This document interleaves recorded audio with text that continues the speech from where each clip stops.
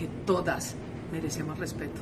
No importa cómo seamos, no importa qué profesión tengamos, no importa qué estrato social tengamos.